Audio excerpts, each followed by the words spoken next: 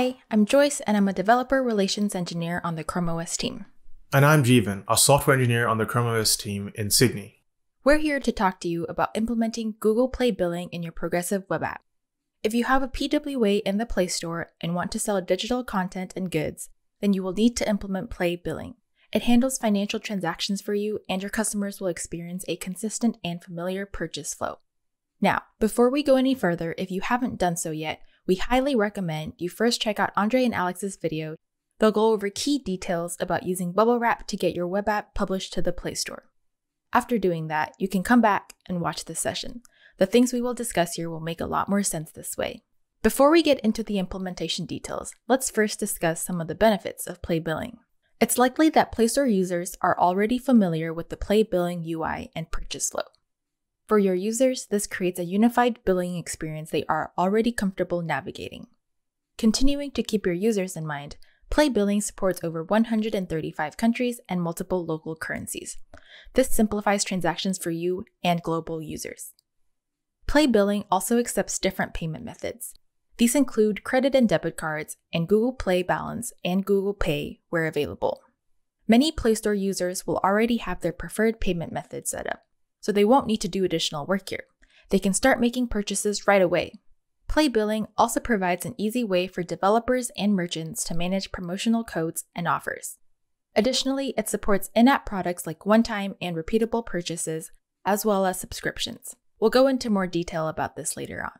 Lastly, the Play Store is also available on Chromebooks, so if you choose to support and optimize your web app for Chrome OS, you can bring it to a whole new audience of users. You will also be able to provide a more seamless experience for Chromebook users who are already using your PWA on their Android devices. Users can purchase a subscription on their Android phone, then jump onto their Chromebook to enjoy all their new benefits there, and vice versa. If you're excited and ready to start integrating Play Billing into your progressive web app, there are three important components to implement and set up the Google Play console, the web billing APIs in your PWA, and the backend server. First, let's look at the Play console, which serves as an interface to Google Play.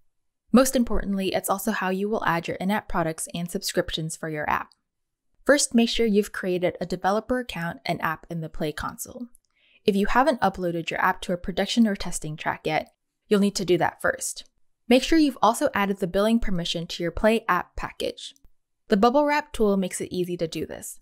Just simply enable the support for Play billing when prompted during the init setup. Now that you have your app set up in the Play console, you'll want to add some awesome products for your users to purchase. Go to In App Products, click the Create Product button, and fill in the required information. Note that the product ID cannot be reused or changed once created, so choose wisely. Fill in the product details, then set the price for your product. Click Save, then when you're ready to make it available to users, activate to enable it. Similarly, for subscriptions, go to the Subscription section and create subscription. The product ID must again be unique. When setting up the price, you'll also need to set the billing period. This is how often you want your subscription to be renewed and how often the user will be billed. There are additional options that can be set, like free trial and introductory price. As you're creating your in app products and subscriptions in the Play console, make sure to keep track of the product IDs, as that's how they'll be identified by the Digital Goods API later on. Next, you might want to create some promotional offers to get users excited about your app and products. You can easily manage these from the Play console. Go to Promo Codes and click Create Promo Code. You can set the start and end date for your promotion. You'll also need to set what the promo is for paid app, in app product, or subscription. Having these cool products and subscriptions are great, but you'll need some way to access your revenue too. In your Play console, under Settings and Developer Account, select Payment Settings. There, you can set up your payments profile by filling in your business information. After creating your profile, it will automatically link to your Play console where you can manage your app sales and view earnings reports. That's it for the Play console setup. You can always come back to edit your product and add more. Now, I'm going to hand it off to Jeevan to talk about the two APIs you'll need to implement in your web app. Now that you've loaded up the Play console with your excellent products, the next step is to use the Digital Goods API and the Payment Request API to enable your web app to start accepting purchases. Let's take a closer look at these APIs. The Digital Goods API manages digital products and facilitates in app purchases for web applications. Note that the Digital Goods API is currently under an origin trial, so make sure to sign up at this link before trying out the API. As with all origin trials, the API can change, so make sure to read the documentation if you come across something unexpected. The Payment Request API makes use of the information the Digital Goods API manages and handles the payment transactions to make a purchase. At the moment, the Digital Goods API is only supported by Chrome if your PWA is running as a trusted web activity from the Play Store. You can detect if the API is available by checking the existence of the Get Digital Goods service method in the window object. If it exists, we're good to go ahead and get the service. We use the URL play.google.com slash billing to let the Digital Goods API know that we wanted to use the Google Play Store. You can call the Get Digital Goods service method with this URL to get an instance of the service that's connected to Google Play. If the service is available, you're now able to call the API's methods. If the service is unavailable, null is returned instead. Next, let's take a look at the getDetails method to see how it can be used to get item details for the items you set up in the Play console. Once you have the service for the Play Store, you can call getDetails to retrieve the item's details from Play's backend. You can then use this information to display your products to the user. Now, let's take a look at how you might implement this in code. You will need to provide the getDetails method with a list of product IDs you created in the Play console earlier.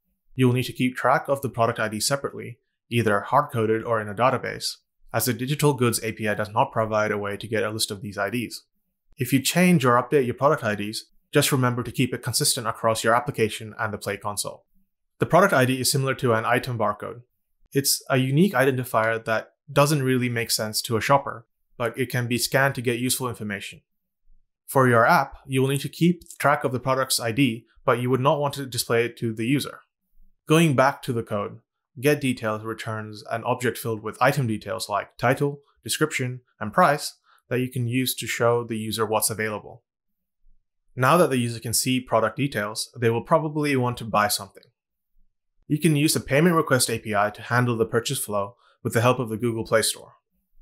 The Google Play Store is already aware of products because you've added them to the Play console. Therefore, you don't need to pass the cost information to the Payment Request API.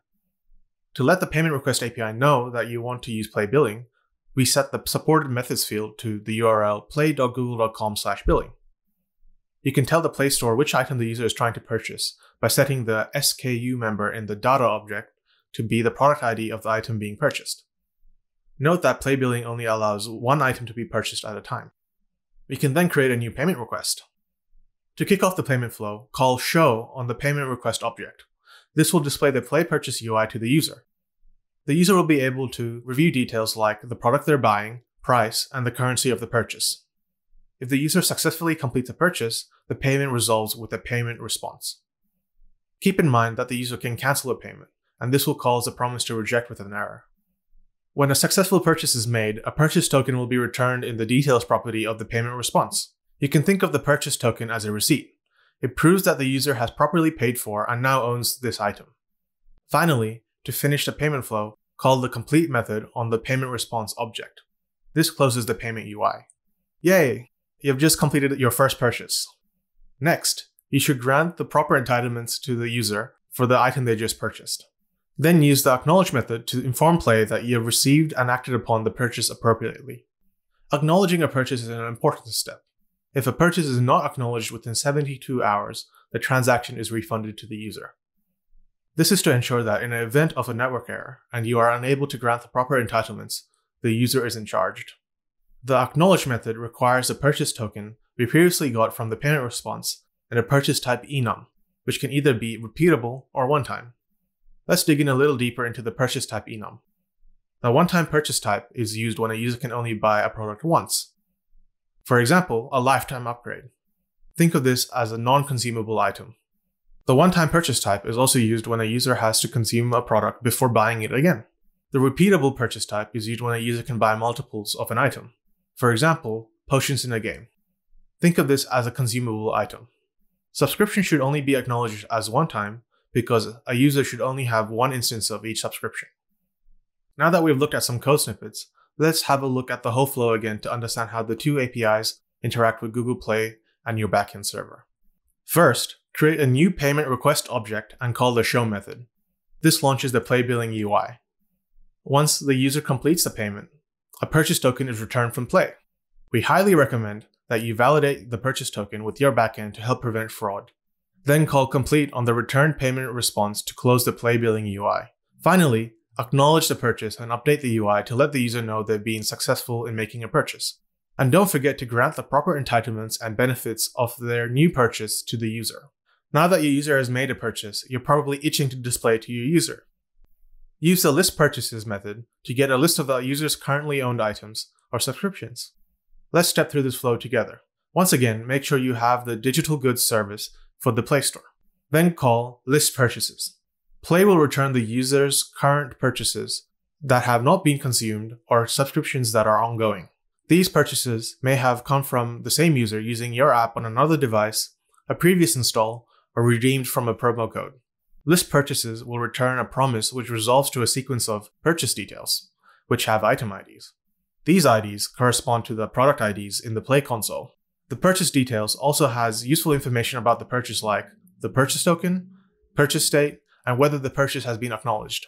As you're going through a user's existing purchases, it's a good time to check for any purchases that are not acknowledged. Unacknowledged purchases may exist due to network interruptions during a purchase, causing a purchase to not be acknowledged. Simply check the Acknowledge field in the Purchase Details object and call the Acknowledge method if required. At long last, you're now able to display the items your user has purchased and currently owns. Congratulations! You've just completed the whole purchase flow, from getting product details to acknowledging a purchase. Joyce will now go over a few things you need to keep an eye on while building out your backend. The code Jeevans just walked you through all exists in the app client. However, it's just as important to implement some key play billing components in your backend.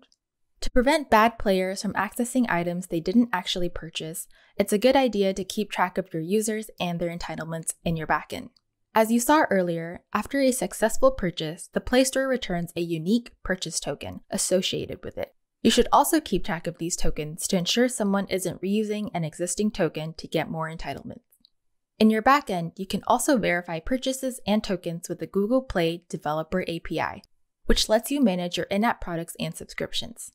Use the appropriate API endpoints to retrieve a purchase and verify that it is legitimate. To keep your backend state updated, you should also use Google Cloud PubSub to enable real time developer notifications, or RTDN for short. RTDN lets you subscribe for notifications instead of polling for them. These notifications let you know when a user's subscription state changes, like a cancellation or renewal. Implementing these into your backend server is crucial for preventing fraud and ensuring you're granting the most up to date entitlements to your users across their devices and across platforms that you support. If you want to list your PWA in the Play Store and have in app products and subscriptions, Play Policy will require you to implement Play Billing. This brings benefits for you and your users because it creates a unified billing experience. We covered a lot in this session, but there's still a couple more pieces to the puzzle. The DevRel team has created an end to end sample covering everything we discussed today, as well as bubble wrap and more on the Play Developer API.